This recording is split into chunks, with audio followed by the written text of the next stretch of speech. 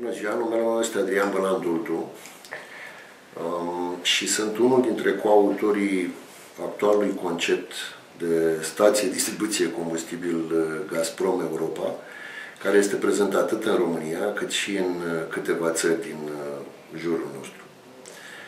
Altfel, cariera mea am început-o cu aproape 25 de ani în, în urmă, într-un foarte interesant an 1990. Interesant de ce? Pentru că în termenii de astăzi am fi vorbit de o schimbare de paradigmă, cum auzim de multe ori. În sensul că noi am fost educați pentru un anume tip de viitoare viață, foarte planificată și destul de anostă. Da? Dar oarecum simplă, cu un loc clar de muncă, cu o, un carier pattern, ca să zic așa, destul de clar. Ne-am trezit în 1990 direct într-o chestie foarte dinamică, în care nimic nu era sigur, în care era, a fost foarte greu să fim angajați chiar cu repartiții guvernamentale, 1990 fiind ultimul an în care au fost uh, uh, s-a mers pe acest sistem de repartiții guvernamentale. Da? Chiar și așa n-a fost, uh, n-a fost simplu. Iar acolo unde am fost admiși, până la urmă să, să avem un, un loc de muncă, ne-am trezit că nu prea suntem doriți. Și atunci a fost poate prima lecție de viață, adaptabilitatea. Adaptabilitatea la condiții adverse, din păcate sau poate din fericire pentru noi, pentru că a trebuit să învățăm la modul greu să facem niște, niște lucruri. Al doilea lucru care a trebuit să-l învățăm atunci a fost curiozitatea și o curiozitate dinamică, agresivă oarecum. Pentru că ale erau timpurile, nu te învăța nimeni, trebuia să furi meserie. Chestiunea interesantă era însă că furai meserie uh, într-un uh, mod ciudat, în sensul că oamenii experimentați erau gata să te învețe totuși, dacă descopereau în tine într-adevăr dorință de a învăța, într-adevăr dorință de a face. Iar această dorință ei nu o vedeau decât dacă erai curios agresiv, să-l întrebi, să-l tracasezi, să-l uh, tragi de limbă, să stai peste program, să-l prinzi în anumite uh, momente în care era dispus să spună ceva, să încerci să înveți cum și când anume să-l abordezi ca să obții niște, niște rezultate. Deci asta a fost prima lecție, adaptabilitatea, a doua fiind curiozitatea. A treia lecție, poate, de viață care am învățat-o a fost uh, uh, folosirea oportunităților. Și oportunitățile vin și nu stau foarte mult.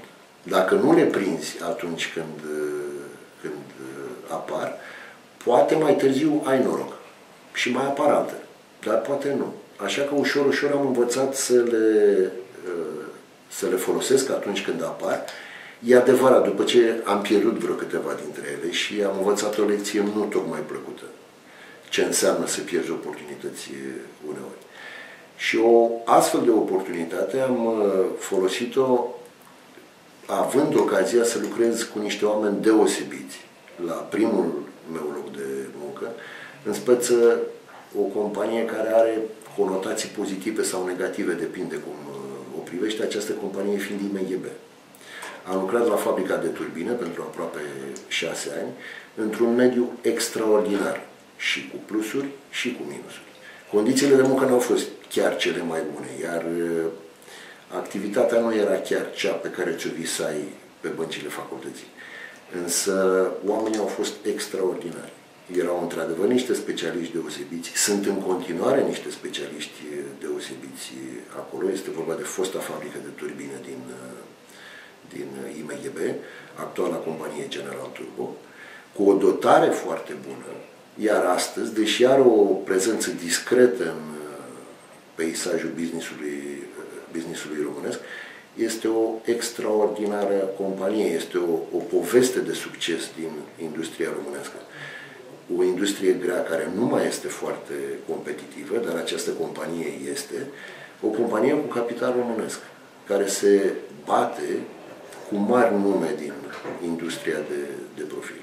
Acolo am învățat primele lecții de, de business.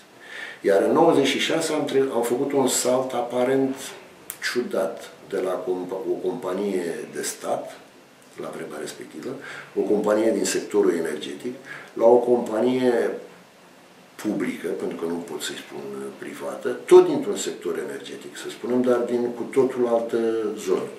În speță și în România, unde am ajuns fără să știu unde ajung. În speță am, am aplicat pe o, pentru o poziție la o companie, fără nume, care avea ca adresă o căsuță poștală. A fost o altă oportunitate pe care mi-am propus să nu o ratez și n-am ratat-o. Am stat la și România 9 ani, timp în care au fost și zile grele, în care nu știam de unde să apuc niște probleme, pentru că totuși trecusem într-o altă industrie. Au fost niște zile extraordinare, pe de altă parte, dar au fost 9 ani pe care eu îi consider pentru mine ca o școală de business.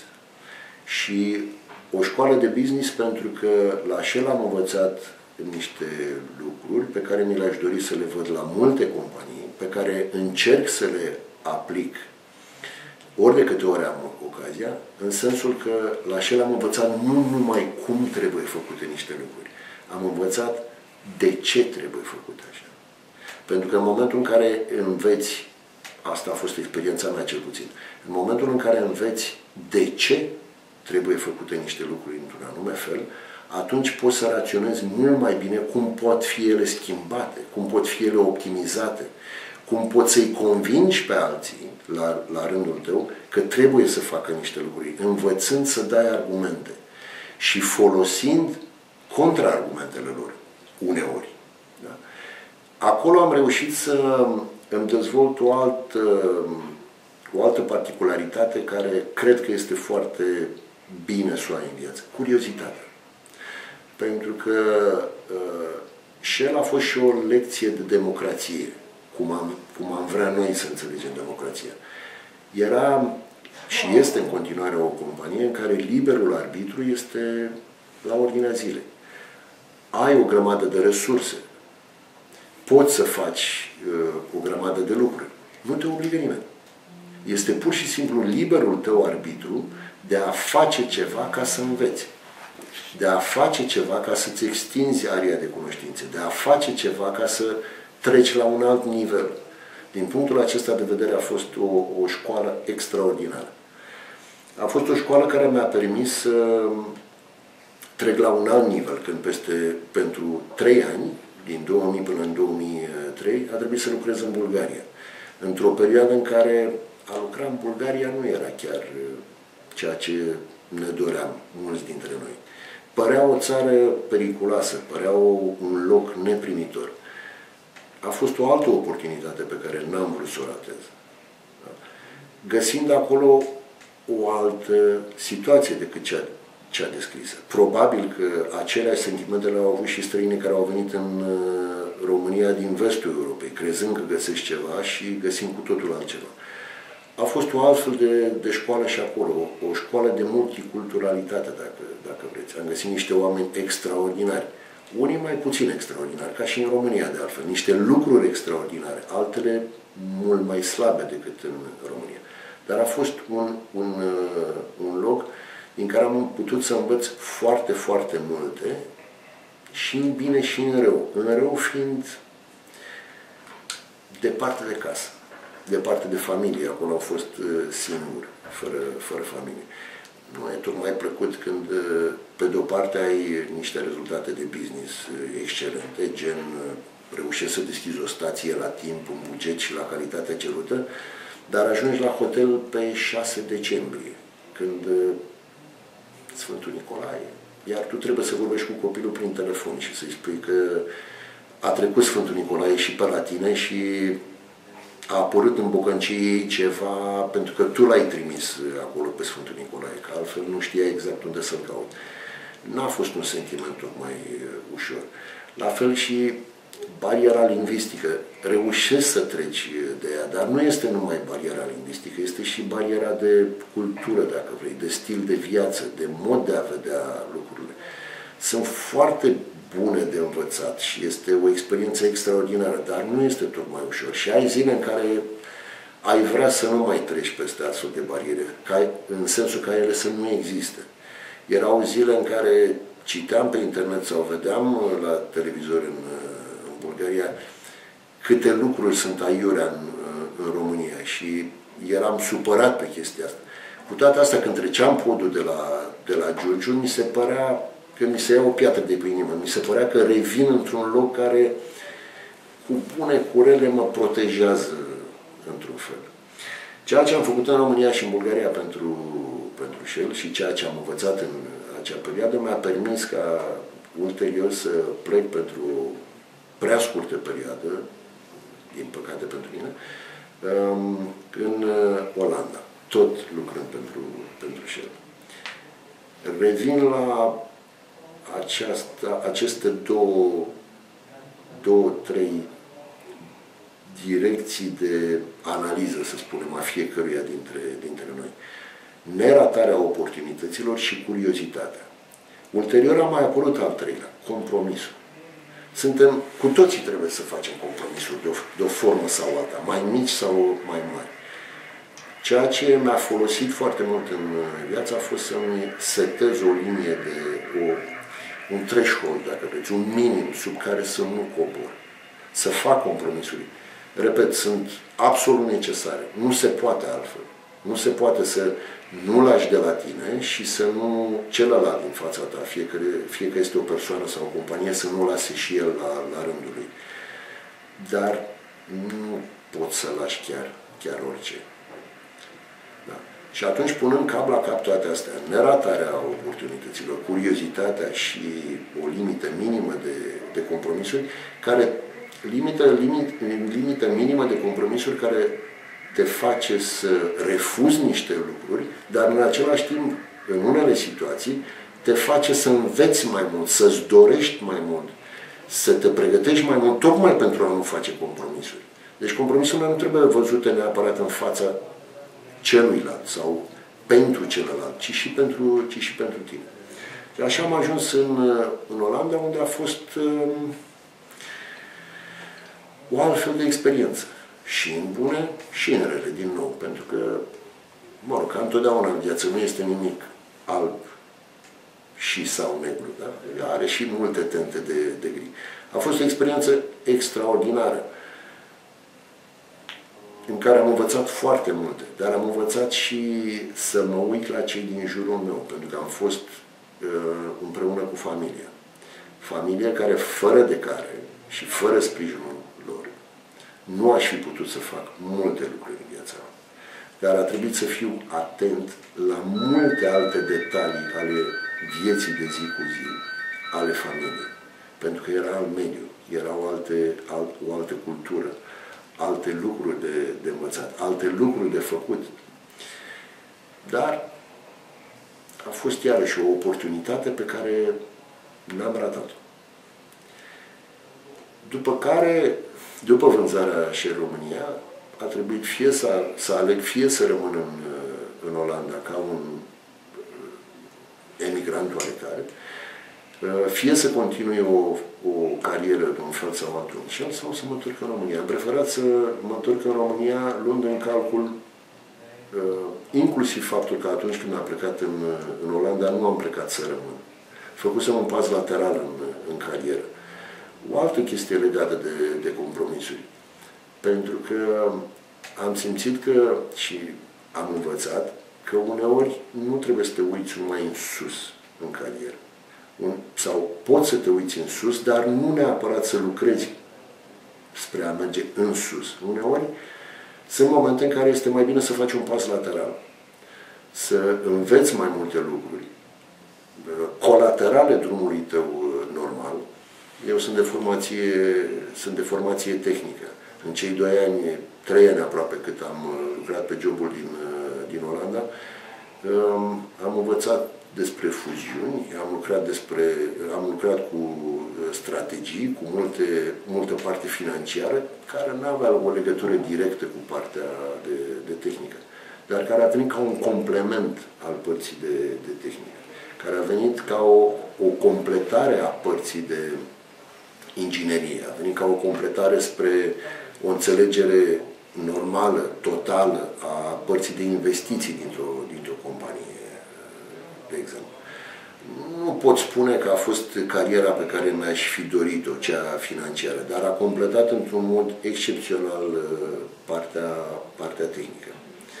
În România, odată întors, am avut uh, ocazia să um, cunosc și să lucrez cu altfel de oameni, la fel de extraordinar mulți dintre ei, ca cei cu, cu care am lucrat în, în, în Shell.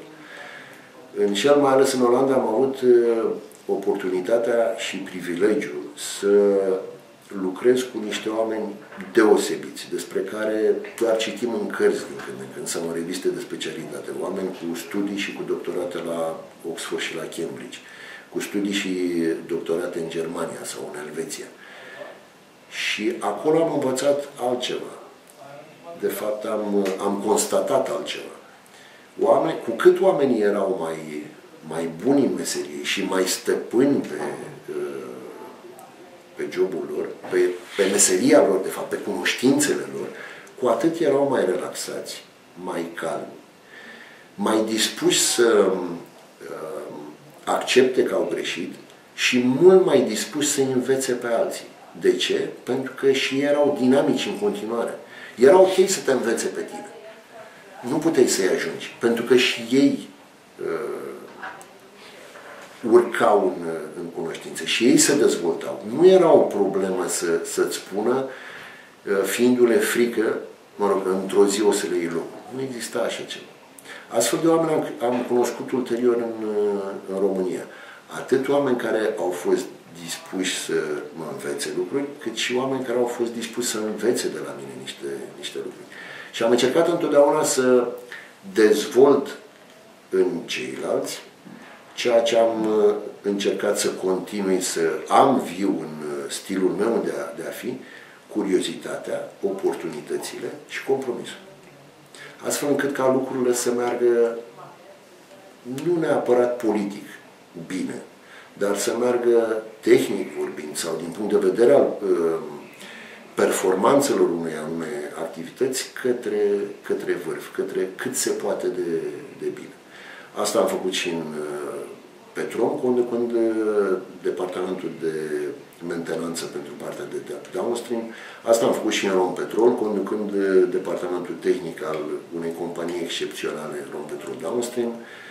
Asta am făcut și în NIS Petrol Gazprom, dezvoltând acel concept, care este o, o acțiune care a fost unică pentru orice multinațională care a venit în România. Este singurul concept dezvoltat în, în România de către o multinațională. Un concept care, cum vă spuneam, acum a plecat din România, dar este un concept al Gazprom Europa. Astfel de lucruri nu se puteau face fără compromisuri, de un, de un anume fel, nu se puteau face fără curiozități și nu se puteau face ratând oportunități inclusiv oportunități de a lega și de a avea punți de, de comunicare cu oameni pe care nu-i văzuse niciodată. Nucleul echipei care a creat acest concept la, la Gazprom este format din oameni care nu ne cunoșteam înainte. Oameni care am avut foarte puțin uh, timp să avem o idee despre punctele forte și punctele slabe ale fiecăruia. Și totuși, pentru că a existat o anume chimie și o anumită pornire către ascultarea uneia de către celălalt și respectul pentru meseria pe care o știe fiecare, astfel încât a fost posibil să, să iasă un, un astfel de rezultat. Un rezultat care, după părerea multora, se spune că eu sunt subiectiv, dar după părerea multora, a, a stabilit un nou standard în, în industrie. Este greu dacă e de spus acum dacă este adevărat sau nu. Până la urmă clienții vor decide prin prezență în, în locații dacă este adevărat sau nu. Dar cert e că în cel mai rău caz, și aici nu vreau să fiu foarte pesimist, dar în cel mai rău caz va marca un, un alt milestone în, în dezvoltări de genul acesta. Deci, în final, aș spune, nu aș da sfaturi neapărat, aș face sugestii provenite din, din experiență. Fiți curioși, nu ratați oportunități și aveți grijă la compromisuri și bune și rele.